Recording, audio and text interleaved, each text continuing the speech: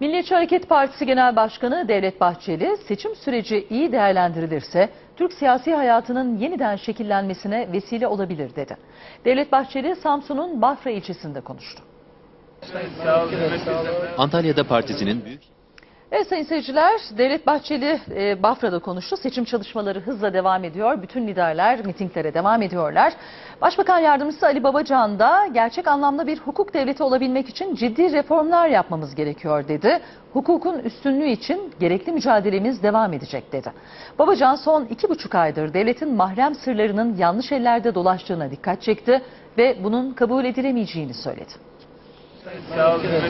Antalya'da partisinin Büyükşehir Belediye Başkan adayı Menderes Türel'in proje tanıtım toplantısına katılan Başbakan Yardımcısı Ali Babacan, yasaların açık, net ve anlaşılır olması gerektiğine dikkat çekti ve hukuki güvenliğin önemine değindi.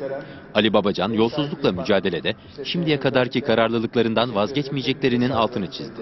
Bakın biz bir yandan kuşkusuz şeffaflık konusunda, yolsuzlukla mücadele konusunda bugüne kadar nasıl kararlı durursak bundan sonra da aynı kararlılığı göstermeye devam edeceğiz. Bundan en küçük şüphesi olmasın kimse. Hiçbir yolsuzluğun üzeri kapatılmaz. Yolsuzluğa tolerans gösterilmez. Varsa sıkıntılı bir konu mutlaka er ya da geç bunun hesabı verilir.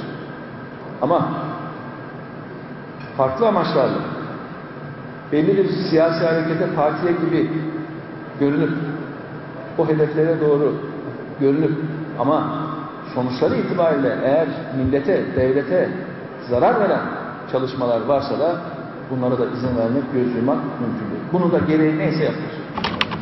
Devlet sırrı niteliğindeki sırların yanlış ellerde dolaştığına vurgu yapan Ali Babacan, bunu kim yaparsa yapsın kabul edilemez dedi. Hep beraber toplum olarak devletimizin, milletimizin başarısına değil maalesef devletimizin, milletimizin sıkıntıya girmesine sebep olacak şekilde çalışanlara da mutlaka engel olalım. Bakın şu son iki, iki buçuk aydır yaşadıklarımız. Bunlar önemli konular. Devletin en mahrem güvenlik ve istihbarat birimlerine kadar bütün bu birimlerin sırlarının devlet sırrı bilgilerin maalesef yanlış ellerde dolaşıyor oluşuyor. Kim yaparsa yapsın, nereden gelirse gelsin bunlar kabul edilebilecek işler değil. Başbakan Yardımcısı